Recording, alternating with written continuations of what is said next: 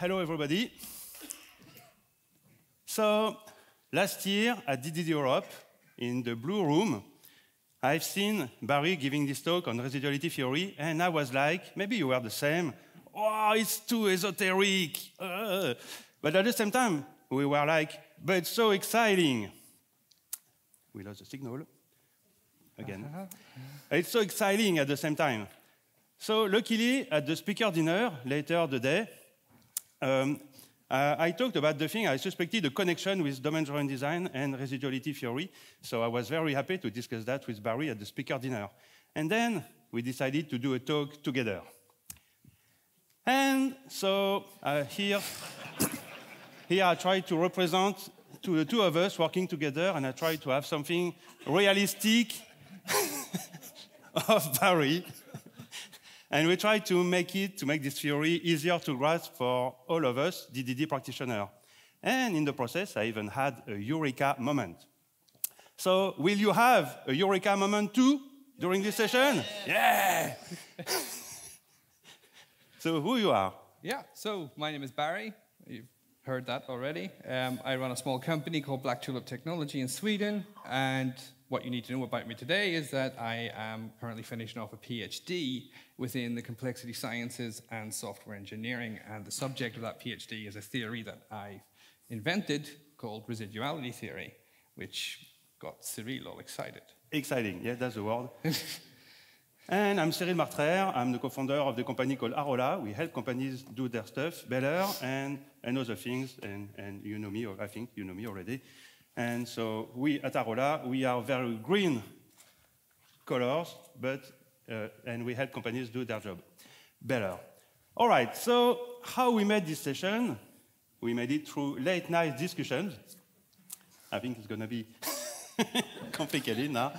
So we had late night discussions, and um, and over this night, so Barry, you were telling me repeatedly do you have a USB-C adapter? It's a running gag. Stressors, yeah, you got it. okay, we have residues. yeah, I still have to make it work. So while preparing this talk, uh, every time we are discussing, Barry was telling me, hey, your favorite practices are wrong, wrong, wrong. And it was like, oh, why? Why are you so rude to me? And actually, the, it was, he was right. And your theory, uh, the feeling I had was the theory was indeed quite similar to what we do already when we practice domain-driven design, especially with more experience. And the thing is, it was a paradigm shift. Yes. so I was like, please don't bash me, Barry. and, and, yes, and Cyrille found this, this very uncomfortable. Um, and what I was trying to explain to him the entire time, and I think what I need to explain perhaps more often, is that when I'm saying that we need to move forward um, in our concepts and our ideas, and the way we talk about architecture, I'm not bashing what's already there. I'm just looking at it from a completely different perspective. And so. It still looks like bashing. it might do. It might do. So, what I've actually come up with somewhat, and, and the way that I see architecture is very, very different um, than what's gone before. And the way I see that architecture works, and one of the things I hear all the time from people who are passionate practitioners of architecture, and I'm telling them that we have this new theory, is they say, but we already deliver successful projects today. We do things that actually work. So, how does that happen? And if it already works, why do we need a new theory? And what I want to introduce you to is the idea of a Deleuzian walk. And this is based on the ideas of a writer called Deleuze, a, French writer from, who wrote a book in the 1960s about how we come to know something, how we come to contemplate something. And very often, the way that we learn things is to just describe them. And we think that we know things by describing them and their attributes and their properties and putting them into a group. And we say, it has a paw, it has a tail, four paws, it says meow, it must be a cat. Deleuze, on the other hand, said that the way we gain knowledge is more like how we go for a walk. Whenever we arrive in a new place, and we, let's say you move to a new town and you go for a walk, the first time you go for the walk, you walk, you're trying to find your way, and you're mostly concerned with not getting lost. You're not really sure where you are. You're not paying attention to all the details around you. The second time you go for the walk, you might be paying a little bit more attention to what's happening, and you realize that in that house on the corner, there's an angry dog. And maybe I want to take a shortcut there. And the next time you take the walk, you'll realize there's a nice wooded glen, and it's nice to walk through. And the next time you take the walk, it's a particularly hot day, and you realize that that nice wooded glen is full of mosquitoes. And you don't want to take a walk there every single time. And every time you take the walk, it's a little bit different, even though it's the same walk.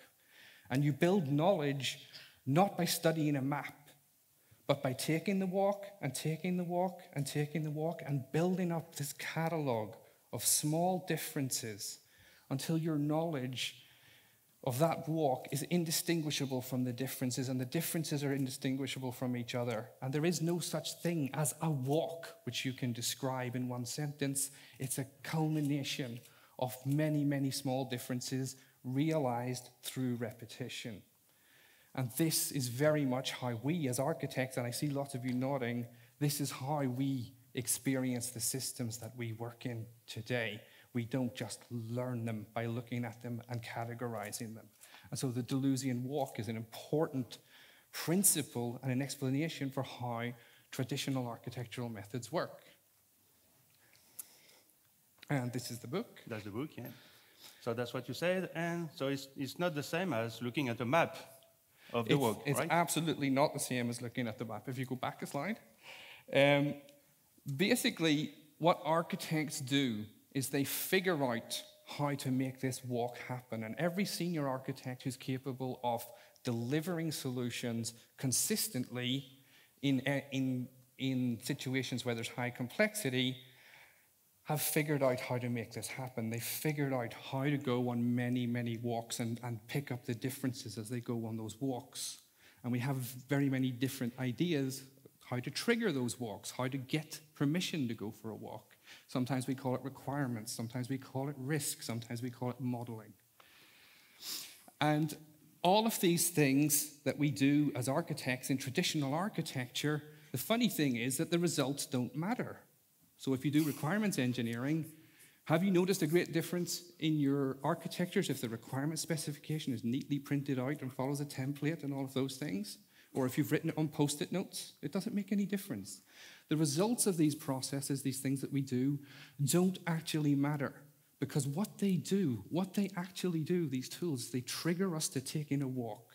And every time we take a walk, we notice the differences. We notice the angry dog. We notice the mosquitoes. We notice that at this particular house, there's always a nice cat that I want to stop and pet. And all of these things, the goal of them is not what they say they are. It's so weird because we go on courses to learn how to do them better and produce better artifacts out of these processes. The artifacts aren't what we do, it's the journey, the learning, the noticing of difference.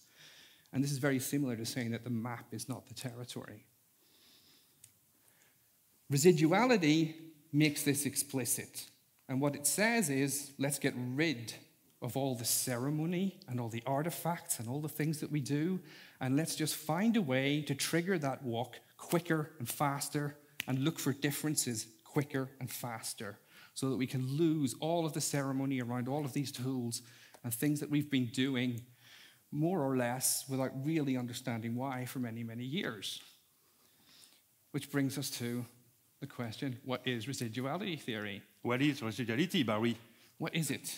I don't know. What's on the next slide? Yes. Oh, so we have this concept of criticality, which is absolutely vital to understanding this theory. Criticality is the condition that a system reaches whenever it's able to respond to a changing environment. What makes a system able to respond to a changing environment? Every system can be described uh, as a function of two things n, which is the number of nodes in a system, and k, which is the number of links between those nodes in the system. or the average number of links. And some systems have a very low number of modules, a very low n, a very low number of agents, and some systems have a very high number of components and a very high number of connections between them. So think monolith microservices. And in between these two things, we have a line, and that line is very well known as the edge of chaos. We can also call it criticality.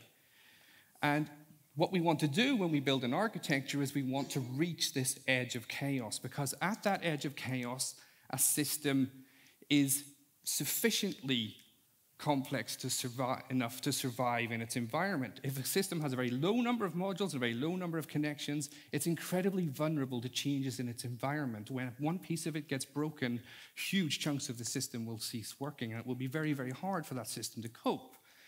If you go all the way out and have very high N and very high K, that system will be erratic and hard to manage and very, very difficult for an operations team to take care of. And any of you who've done any extensive work with microservices have already found this out. Mm-hmm. and what, we, what happens is when you introduce a simple system into an environment, it will get stressed. And when it gets stressed by something in the environment, it has two choices. It either splits into smaller pieces and survives, or it dies. And this happens repeatedly. And as we stress the system, as we push it around, it splits and divides and it forms and it finds a structure. And as we push that structure around, it moves closer to this edge of chaos, it moves closer to criticality. And when your system is critical, when it is at criticality, then it will have the ability to survive things many things, things that you haven't even designed it for, which was the focus of last year's talk. And so, this property of criticality is incredibly important. And it's whenever we work as programmers, as software engineers, developing code, our focus is correctness. We want to write code correctly, code that passes tests, code that does what we thought it was going to do. If you're an architect, your job is not correctness, because there's no such thing as a correct architecture in a complex system. There's only variations on that. There's many, many permutations. And so the goal of architecture, of software architecture, is not correctness, uh, which we've long thought it was, it's actually criticality. So residuality is the modeling of systems in terms of residues. Instead of processes and components, we model in terms of residue. A residue is whatever is left over when the system is stressed, and um, whenever the system is hit by something that we weren't expecting. And what happens is that we are investigating our architecture by repeatedly stressing it. And every time I stress that architecture, it's like getting a dog. I now have to go for a walk. It's not a choice anymore. And residuality also, residuality also provides an underlying theory of software architecture with this concept of the Deleuzian walk and the residue. It provides a theory for why architecture works that has explanatory power for almost every architectural engagement. So, what problem does it solve? oh. yeah. So, what problem does it solve? um, Firstly, it allows us to design for criticality, and we'll see how that happens and how the use of residue instead of uh, component and process allows us to, to push towards criticality. It allows us to find and design for non functional requirements, which is, if you've, like I have, worked with a lot of crashed projects, is the main reason why software, software architecture projects fail. It allows us to make strong decisions on our component boundaries um, it allows us to cope with the weakness of our structural understanding of complex environments. Every time you engage with a complex environment, you naturally project a structure onto it, and that structure has very, very weak grounds, and it tends to fall apart uh, after contact with reality. And it also allows us to know when we've done enough design. There's, a, there's a, a methodology for figuring out when we're finished, and it allows us to describe our architectural process in a rigorous way. It's quite ambitious indeed, right? and so, how does residuality see other methodologies? And it can seem sometimes that when you're working with something new, that like you're bashing everything that's went before. But there's nothing wrong with doing something new, and it doesn't implicitly mean that you're bashing other things. Residuality can work together with any other methodology, even if it sees the world in a completely different way. Residuality puts uncertainty and indeterminism at the center of its world. Those are the things that it works with, those are the things that it thinks about. Whereas other systems maybe put language at the center, other systems put many systems put technology at the center. Sometimes we put the object at the center, sometimes we put the server at the center. Residuality is an approach that is post structuralist. Everything else in software engineering is structuralist. This is where the difference happens. This is why it's an entirely different paradigm. It's a huge shift, and it's why everything is different when we work with residuality. So, in a sense, you are saying that all architecture is residual, at least if it works. All architecture is residual, whether or not you designed it according to resi- residues. All approaches to architecture that are successful can be considered in terms of residuality. It's essentially, as I explained last year, random simulation and an analysis of this NK, the number of nodes and the number of connections between them. So to me, thank you, but to me, all this is still very dry. And so it's science. It's science. It's peer reviewed by peers. It's, it's serious, right? It's not the, the, like the thing I, I show on stage. But it's, it's too hard for me. So, uh, yeah, it's too complicated to, to use the words from Facebook. for me, it's just too complicated to understand. So, uh, with, from all the discussions we had together, uh, let me introduce this metaphor that that works a little bit. Like, you know, when you go on the beach and you see stones on the beach, the, their shape, you know, tell, tells the full story. Every hit, every collision they went through, every all the drama in their lives reflects into their shape, which is why usually they are mostly concave, except this one. And so each stone or each piece of, of, of wood like that tells the story. And the idea is to have that for our system and construct, define, design, and architecture through this process and deliberately. That's my naive attempt at, uh, at, at, do that. And we want to do that deliberately, deliberately on purpose. So if there is, the algorithm for that is to start from somewhere, actually anywhere. You don't have to be stupid to, for, you don't have to start from a stupid architecture, but you could. And then you stress it repeatedly. You ignore how likely things are, and then you try to combine what's left. And ta-da! You end up with a pretty good architecture that has this criticality, quality that we are looking for. So in practice, let's try to make it a bit more concrete. We start with a network of things. Forget the word Kauffman, but and so it's a network made of elements and links in between. So for instance, here you see 50 elements, and links in average they have two links in between them. So what do we call the elements? What, do, what are they in practice? And they can be anything. They could be very macro level, like think bounded context, microservices, modules in your Maven or NuGet packages. They could be physical things that you put somewhere on a runtime, like tiers, servers, components, databases, queues, middleware. Or they can be very low levels, like classes, JSON contracts between your stuff, all these kind of things. They can all be seen as elements. And then so in the, in the incidence matrix that Barry suggests to use in for the residuality theory, would, these elements would become the columns on a matrix, on a table basically, that, that gonna grow. Um, and then the links between them, we have links between the elements. And by links, we mean that they change together. When, when there's a change coming in, it makes the different components change alone or together. So the change could be because you have a dependency and the change propagates through the dependency, something you are familiar with.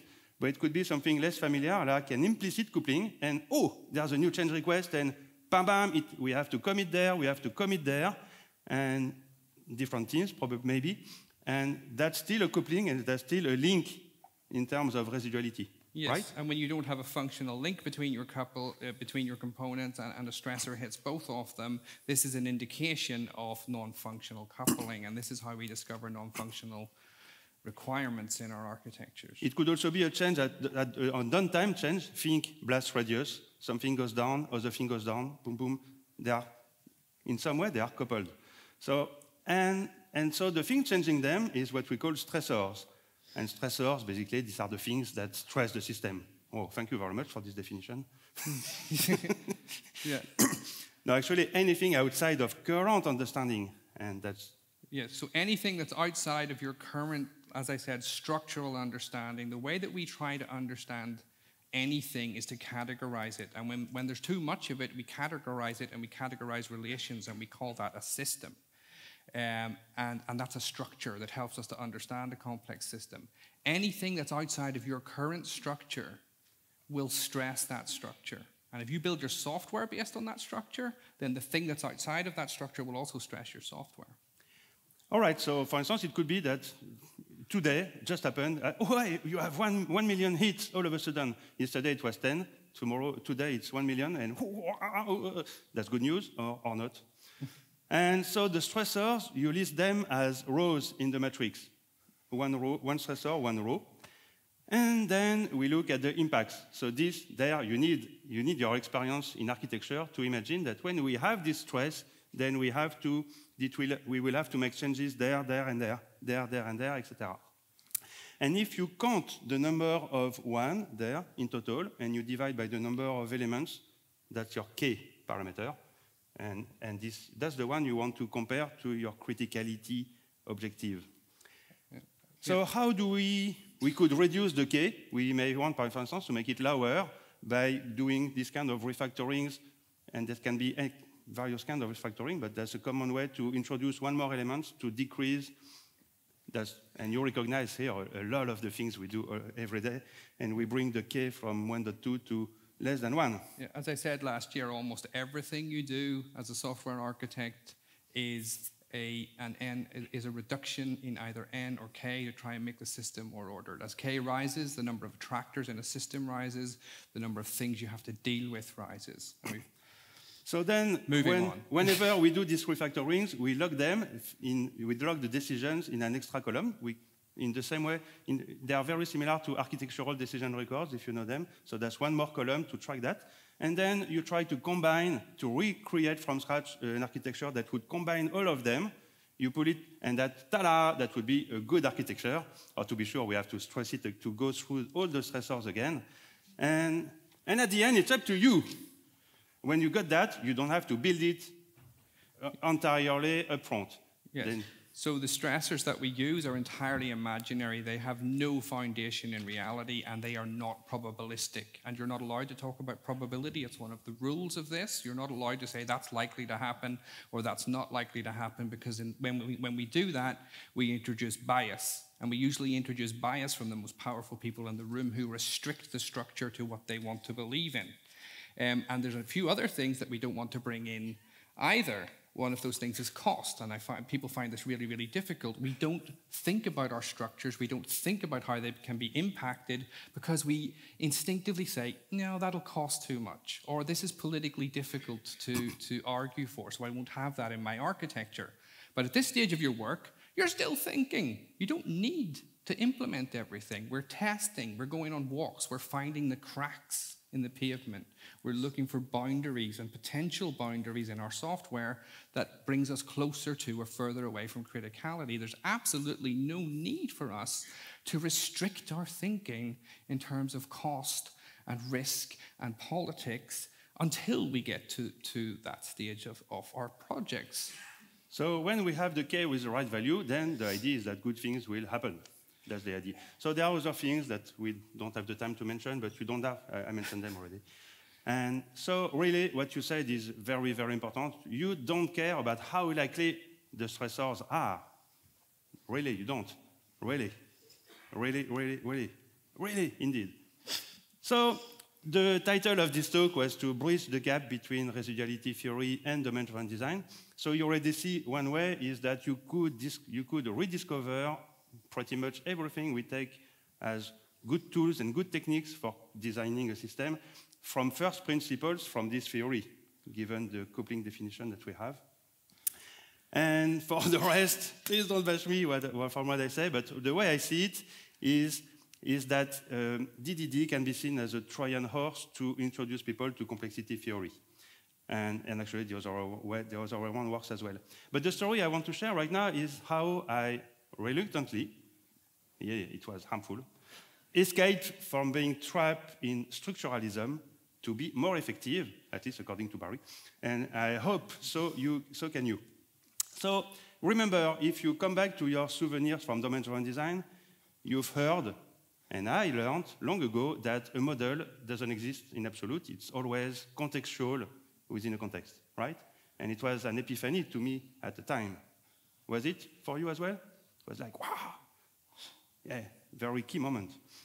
And then Eric, in the book and in everywhere, we, we, learned that from Eric that we should consider, even within one bounded context, there's no one model. We have to consider multiple alternate models. And we must be ready. We implement one, but we must, must be ready to switch to another one or find a, one more anytime. And we, and we like that, and we are proud of it.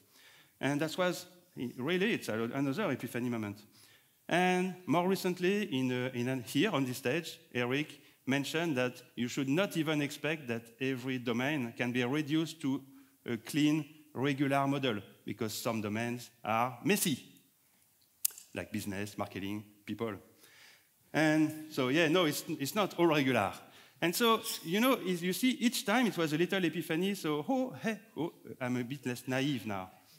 And so I, I, I would go as far as saying that domain-driven design taught me how to deal with a genuinely complex system, not a, complicated one. And as a graduate engineer, trained, grown up in a complicated world, it really it was a cure. And maybe it was the same for you, right?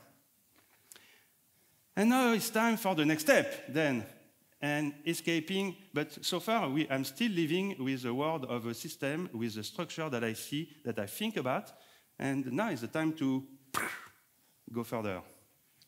And the funny thing is, at some point in our discussions, you pointed me to this blog article from Mathias called It's Just Like. And this article says that whenever you see something new, it sounds like something you know already, and, and so you say, oh, I can dismiss safely. And, and the, the article actually and says something different. It says you should look for what's, the, what's different inside. And turns out I was not doing that, right? Yes. Yeah. Oh, actually, maybe I was trying, but yeah, he was bashing too much. yes, so I would say to Cyrille that the so we would say, well, what, what, what, are we going to talk about? What do, how do residuality and DDD work together? And I would say things like, well, residuality doesn't, or DDD doesn't cover non-functional requirements. Oh, yeah, yeah, but it doesn't matter because in practice we use TDD on top and and and so forth. And so we and would add something more. And, no, no, no worry because in practice we all use hexagonal architecture on top. And we use also these patterns, these contracts. And, and you know, Chris Matt says that break the model, so we already do that. Uh, by the way, who knows Chris Matts? That's, oh, you should. Re very, very, very important. Chris Matts, break the model is very important. And all the distributed architecture, we use it on top because the domain design doesn't say a thing for, about that. And we have the real options and na, na, na. Uh, and at this stage, Cyrille is actually admitting that what I do in order to produce a, good architecture as I go for lots and lots and lots of walks. It's just a different way of talking about it. All of these things, and when you say we're going to have three models or we're going to break the model, you're saying I need a trigger to make me go for walks, to contemplate this system over again. So each time I was introducing a new practice, so you are telling me basically if you can't facilitate, if you uh, say it. yeah, okay. so um, whenever you're trying to have a discussion with someone and they keep saying, yeah, but this, if their idea can't be falsified, then you might be in a cult. Yeah. yeah. And I have I, to admit that. And it felt, it felt strange. For, I was hearing myself saying, you know, DDD says, Eric says, we all take for granted this. And yeah, it sounds like I was indoctrinated. Yeah, yeah, yeah. And by the way, we have, we even have a high priest called DDD Borat. Still a mystery. And, and we also have a community with, a strong identity on top and a lot of sloppy jokes. as well. So yeah, there was some element of that, and I was not very comfortable. So when Barry comes and say, "Hey, your stuff is wrong," from a science perspective, like, "Hey, burn him!" yeah, you can tell it. You can tell it. Burn him. burn the witch. But yeah, but you knew that, and you I was expecting that. So I was expecting this. Um, and it, the story is foretold in a book that was written in 1962 uh, by a guy called Thomas Kuhn. It's called The Structure of Scientific Revolutions. And it talks about how the scientific community changes their mind about an idea.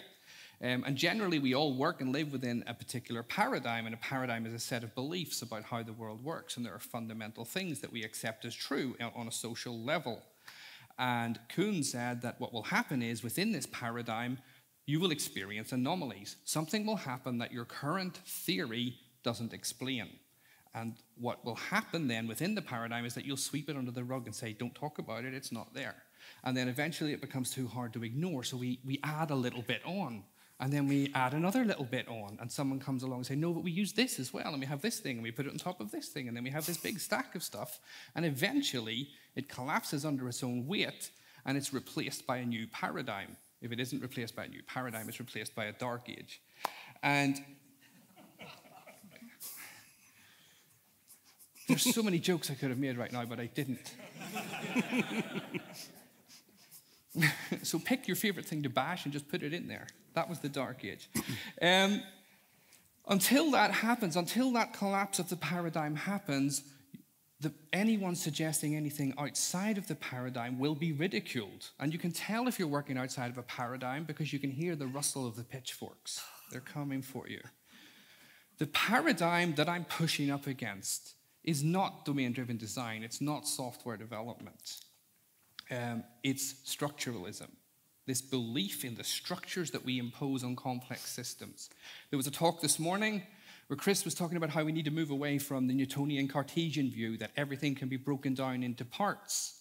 Um, but whenever we replace those parts with a bunch of parts stuck together with links and call it a structure, we've just replaced the parts with slightly bigger parts. It's the same thing.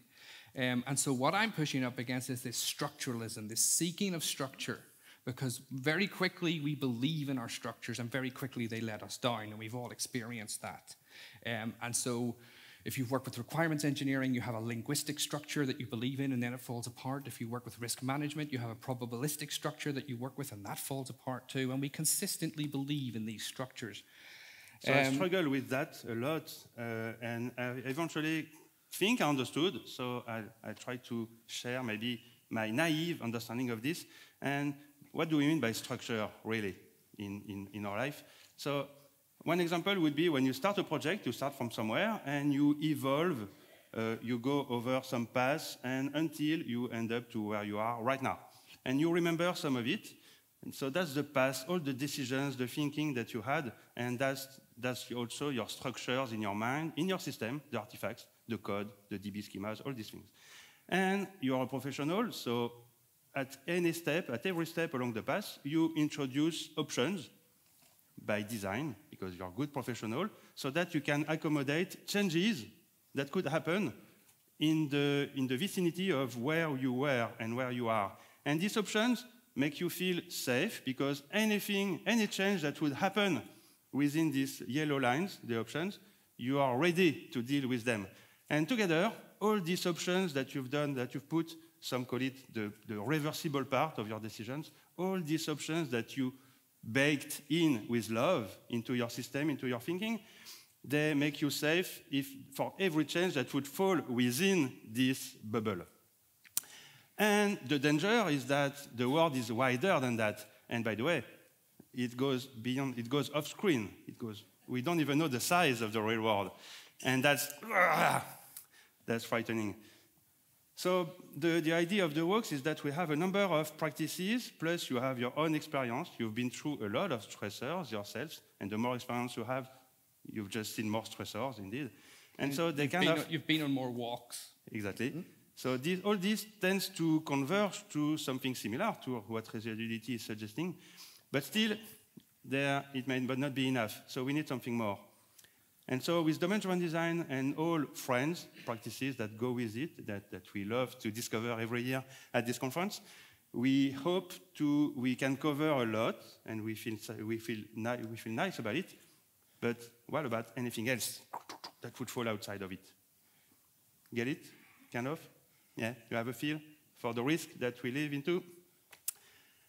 So the residuality theory aims at exploring that through random simulations. Yes, and those random simulations, as you can see in this beautifully drawn addition to Cyrille's diagram, um, it, it, helps us to discover something called attractors, things that the system is pulled towards. And, and the system is made up of infinitely many possible combinations, but, uh, but not all of those are addressable, not all of those can be reached. And what, so what we're trying to do is to find the group of attractors that surround the system and build a system according to those attractors, not according to the happy path uh, that, we, that we're accustomed to. And you, the key thing is you don't have to imagine everything possible to design for it because we are lucky. For every possible stressor, the number of attractors is much less. Yes. And so we can have some safety just by going through enough of them. In technical words, the, the solution recombine. And if you're interested in the mathematical explanation behind that, you can look at last year's talk that I gave on residuality theory. We're not going to do any math today, I promise. So really, it is a paradigm shift. It is really, and it took me a lot of time to understand it. it the paradigm shift is go moving from a structuralist point of view, which is pretty much our default, the one we don't even see, the one we are not even aware of, like being trapped within a structure, and moving to a post-structuralist approach. And so congratulations, everyone. You just learned a new pedantic word to feel, to brag and impress your friends at cocktails and at dinners. So yeah, that's, that's, that's a win. so it was hard for me to parse that because in your slide, it was kind of buried just like a detail. But it's not a detail. So by the way, I would suggest that maybe you try to, to say, to tell it out loud, the word post-structuralist, right? Would you try it with me? Post-structuralist. Yeah, to have a taste for the word. Post-structuralist. Yeah. It sounds good, right? It's a good word. It's a good kind of word. just, just a quick warning. If I see a blog article called Post Structuralist Driven Design, I will find you. so, there are some dangers with, with bringing the concept of post structuralism into the fray.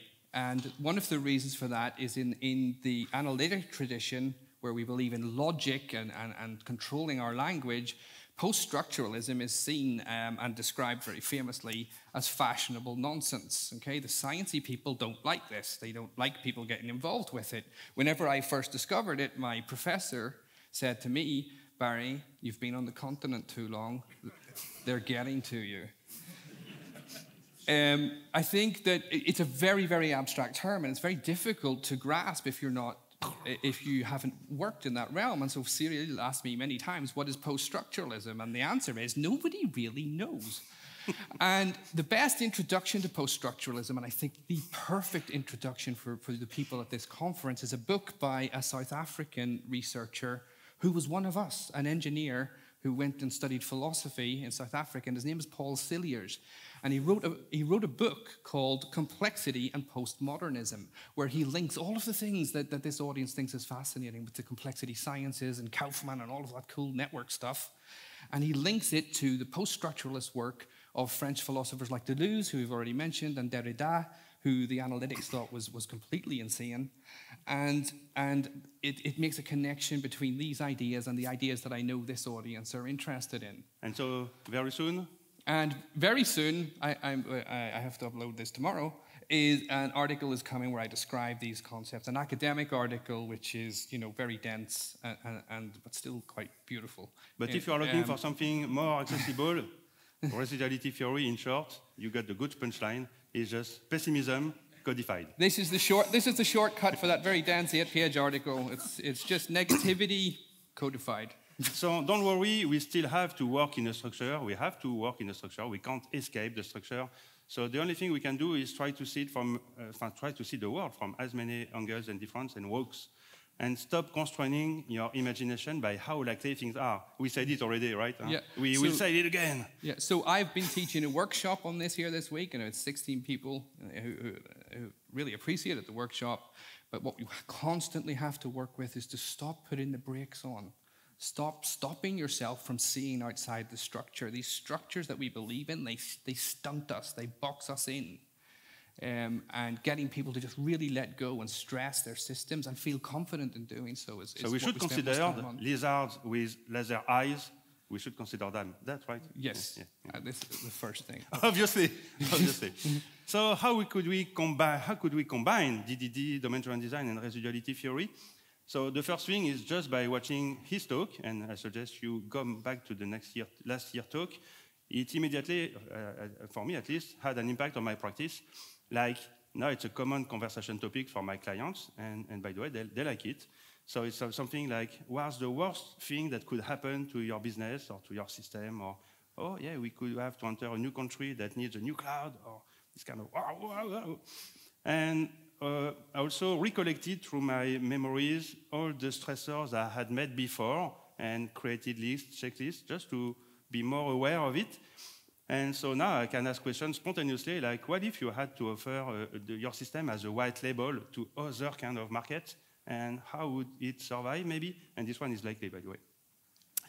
So another way is to use stressors to challenge your bounded context. You know, bounded context, one use of them is to split a system, for instance, a large system into microservices or modules. And, and unfortunately, a lot of the coupling can be invisible inside. And so we try, what we try to do is to have co-modifications, things that change together, to be inside, not across system. So we want this, not that, right? And so in incidence matrix, like we, like we use for in residuality theory, it shows quite clearly, right? So this Yeah. Whenever we see these numbers pop up in a matrix, it means that the two things that have a one in the same row are coupled to each other in a non-functional way. This is how we discover it. There's something connecting these two bounded contexts. So here on the first line, you see one and one, and on the second stressor, there's another stressor where it happens as well. So it may not be a coincidence, it may be mm. a something, some implicit coupling. Yep. And so maybe we should merge the two bounded contexts or find a, extract a common third or something like that. And that actually, actually that's how you should think if, when you do the thing. But this is more rigorous, right? Yes, and this will work for bounded contexts, domains, subdomains, aggregates, as well as software components, as well as the functions inside your software components. So you can, all of the structure that you carry around in your head as an architect and you've never been allowed to talk about before because no one's interested, and let's be honest, you don't document it, um, So you could see um, can be expressed in these matrices. You could see residuality theory or with respect to DDD or the other way around as training wheels one for the other. And for, for instance, for me, through DDD, I learned going from I don't want uncertainty, going through, oh, I can live with some complexity, and that was another epiphany from domain-driven design. And so with residuality theory, now we are, give me more uncertainty, and I'm happy, I want it. and we should be fine about it. All right. So yeah, it goes so well that in your workshop, some, some, some one of you, Philip, may even rename yourself into uncertainty engineer. So yeah, you can turn, you can convert people. And yes, I surveyed some people out of the workshop, and they told me that yeah, going through domain-driven design was a good priming uh, path to be more receptive to residuality theory. So yes, I, and I can say I've taught this workshop for, to hundreds of people across Europe in the last couple of years, and this audience, this uh, DDD audience, are really you find people who think really deeply about the complexity of a system and are, and are prepared to engage with it in a completely different way. And that's been fantastic. Another use that you may use with your colleagues or friends or clients is you could use residuality theory as a way to counter some abuses or misunderstandings from domain-driven design. Like some people misunderstood domain-driven design. It happens, right? And so having another theory going from another angle can help push uh, and help people understand what it really is about. Like, for instance, uh, no, it's not about modeling upfront, or, you know, this one is not about being modeling for realism, right? It's not, DDD is not about that. Or it's not about this, of course, and it's not about that either. Or, no, this one we know. No, no, no, no. Uh, uh, it's not about this one. We said it before. Yeah. it's not about correctness and well, all these kind of things. Yeah, so whenever you combine DDD and residuality, what it's going to do is the two influence each other positively. First, everything you do when you create a domain, you're creating a structure, and residuality will help you stress that structure and question it. And as you can see, some of the things that, that uh, Cyrille noted that Eric has said earlier have more models. Um, a, a, quote I saw on Twitter from Eric uh, a few days ago start off with a naive model and just go, just start battering it. It's the same principle. What I find is that if you're not, one of the things that's really difficult, for, especially for technically minded people, is that it's very hard to stress a system. When you ask a, a senior developer to stress a system, they'll say things like the network goes down, the hard disk, disk crashes, lots of technical stress. People who engage with the domain have an easier time saying, what happens if a competitor drops their price? What happens if a competitor moves into our market? What happens if new regulations hit this thing? Um, and that's how you have to stress a system. So having domain knowledge is inescapable. And, and, knowing how to engage with the domain and gather that domain knowledge will make this much, much easier to do. So the two, uh, the two fuse with each other pretty well. And Another thing that can happen is that you can use this to confirm have I got this right? Do I have the right domains, the right subdomains, the right bounded contexts, the right aggregates? I know that a lot of people who start out in domain driven design find these things very confusing. This is a tool for confirming have I understood this right? And if you get a whole series of ones across your matrix, then no, you haven't. Keep going. Um, and I think it'd be much easier for them than abstract discussions and very long discussions about what an aggregate is. All right, so yeah, one example I like is using domain-driven design to find stressors better, to help maybe find some. So yeah, you still need experience and domain insights. That's the key. we invested in that too much. But invested too much, it could be a sunk cost fallacy anyway. So one tool I love from domain-driven design that can help spot uh, stressors is, uh, are invariants that come from the blue book, you know, the Bible. Ta-da-da! Uh, if, you, uh, if invariants are not yet on your mental map, they should be. That's, they are very, very, very, very important thing. So imagine we are selling products in an e-commerce system, then an obvious invariant, it's a property, an invariant, something that holds true, would be that we can sell every product in stock, obviously, right? So the key question, that's why there's a key on the picture, it's a key question, is, is this always true? And this question is not enough. You have to insist. Usually, you have to insist, insist, insist. If there are a case where it would not be true, and turns out there is, yeah, no, because perishable products, yeah, you, hey. So now you have to review and reduce, and uh, yeah, you have to take care of that. So the game there is to trying to break every properties you have to explore faster the domain, but it will still not be enough. You have to be even crazier than that to be, to be, to be effective. So now there's now the time for the closing. And so maybe that's a good summary of how we prepare the talk. so basically, this talk is, uh, was, in effect, domain-driven design and residuality theory applied. Because I had to interview, I, I tried to model your brain and your theory. Yes, and my instant reaction was to stress him. yeah, so that's me there, you know, and that's him. the giant Godzilla. And yeah, and it was stressful, yeah, indeed. Yes, and if you watch back over the films, you'll find we have history with the fire-breathing lizard thing, and a lot of people refer to me as the lizard guy. Yeah. so that's residuality theory. Yep, and so this theory won't guide you, it won't solve all your problems, it's not some promise, it's not some silver bullet. What it will do is protect you from believing too much in the structures that you know, that you think are solid, the structures that we build. Um, and post structuralism is very much about being suspicious of those structures and being aware of the fact that those structures will crumble and break and rebuild and crumble and break and rebuild over time, which is the very essence of residuality theory. Things are made of res- residues, a series of broken stuff over time. Um, and you know you've got a good architecture, and this, these ideas help you get to a good architecture by knowing when you've established criticality in the face of stress. You can skip that one. Let's get Okay. So uh, you can keep your domain-driven design and all the friend practices, and residuality is just one way to enrich your practices, and it's worth learning. And the funny thing is, while preparing this talk, last night I had a bug between my application, my presentation application, and the, and the drive online, so I lost everything. So I had to rebuild everything from, from an export. And so we had these little conversations, and you see the conclusion? Yeah, And so It never happened to me before. That's how stressors yeah, work. it's outside. It's outside of my structure, my picture of this thing. And now not had to go for a new walk, and it was raining, and I had no umbrella. But, uh, we it anyway. And that's it. So I suggest you, if you haven't already, or even if you have already, watch again this talk to, for the more technical details. Yeah, the feedback I've had is that you get it on the fourth watch. And so that's our conclusion, residuality with and design. It's a love affair. Thank you very much.